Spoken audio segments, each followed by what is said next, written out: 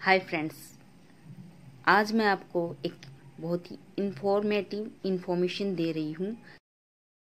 आप किसी भी कंपनी में हॉस्पिटल में, या फिर मॉल्स में एक्स वाई जेड किसी भी कंपनी किसी भी हॉस्पिटल या फ़ील्ड में आप काम करते हो तो उसी के ऊपर मैं आपको इन्फॉर्मेशन दे रही हूँ। ये इन्फॉर्मेशन आपको घर में रहते हुए भी सेफ्टी के जो नियम हैं, वो आपको यूज़ में आएँगे।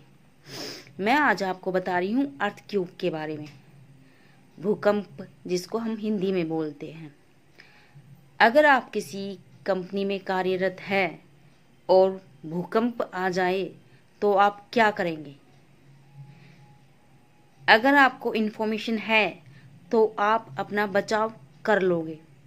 अगर आपको इसके बारे में कोई नॉलेज नहीं है इन्फॉर्मेशन नहीं है, या आपको किसी भी टाइप की ट्रेनिंग नहीं दी गई है तो आप अपना बचाव नहीं कर पाओगे। तो ऐसे में आपका बचाव कौन करेगी? सिक्योरिटी सिक्योरिटी आपकी कंपनी में इसलिए तैनात की जाती है, इसलिए हायर की जाती है ताकि आपकी वो जान माल की रक्षा कर सके। तो ऐसे में आपकी हेल्प करेगी सिक्योरिटी। अब अर्थ क्यूब के बारे में हर कंपनी में पोस्टर लगे हुए हैं गाइडलाइंस दी हुई है। उसके बावजूद भी अगर कोई इंसान अपने आप को नहीं बचा पाता तो ऐसे अफसर पे सिक्योरिटी ही काम करती है। सिक्योरिटी जो होती है, वो अपनी टीम बना बना के एम्प्लॉयज़ को एक मीटिंग के द्वारा, एक सेमिनार के द्वारा टाइम टाइम पे सजेस्ट करती रहती है कि हमें अर्थक्यूब से कैसे बचना है। मान लीजिए आप किसी कंपनी में कार्यरत है या आप घर में ही रहते हैं और अर्थक्यूब भूकंप आ जाए तो आप क्या करोगे उससे बचने के लिए? तो मैं बताती हूँ आप उससे बचने के लिए क्या करोगे। आप जिस भी फ्लोर पे आपकी ड्यूटी है तो वो फ्लोर की इन्फॉर्मेशन आपको अच्छी तरह से रहती है। तो उस इन्फॉर्मेशन में आप एकदम भूकंप होता है, वो एकदम से आता है अचानक।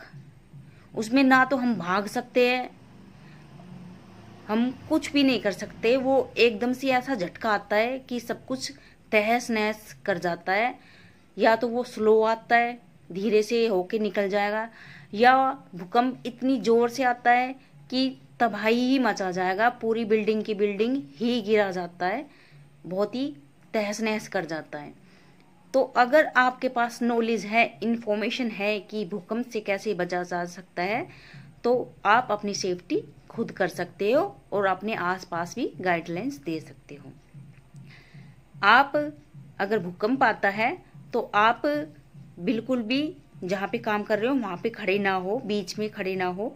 जहाँ पे, जहाँ पर पिल्लर हो, आप वहाँ पर चले जाइए और पिल्लर के पास खड़े रहिए, क्योंकि पिल्लर बहुत ही मज़बूत होते हैं। उनके अंदर सीमेंट और सरिया ठोस चीज़ होती है।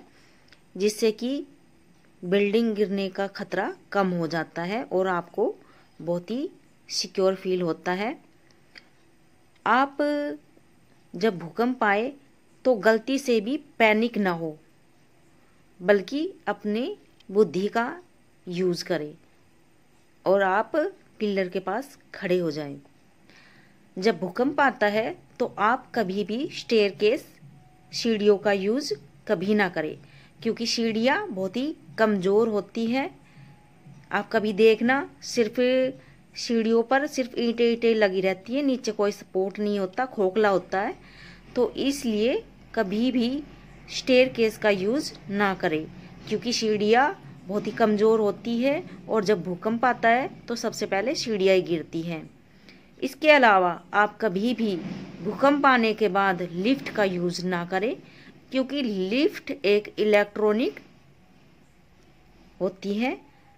अगर लिफ्ट का आप यूज़ करोगे जल्दी फ्लोर के ग्राउंड पे जाने के लिए तो लिफ्ट इलेक्ट्रॉनिक होने के साथ साथ बंद भी हो सकती है। ना तो फिर वो ऊपर जाएगी, ना ही वो नीचे जाएगी। आप उसमें फंस के रह जाओगे और आप बहुत ही पैनिक हो जाओगे। इसलिए अगर कभी भी भूकंप आता है तो आपके पास अगर नियरेस्ट में कोई भी मज़बूत टेबल है, मेज है तो आप उसके नीचे बैठ जाए आराम से। ताकि अगर छत गिरने भी लगे तो आपका किसी तरह से बचाव हो जाए।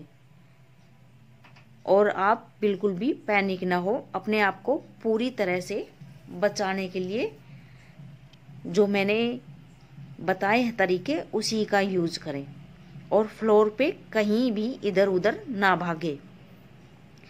अगर आपको भूकंप के बारे में इंफॉर्मेशन है और आपके साथ काम करने वाले को इन्फॉर्मेशन नहीं है तो आप अपनी सेफ्टी करते हुए दूसरे एम्प्लॉयज़ को भी गाइडलाइंस दे सकते हो ताकि उसकी भी जान बची रहे।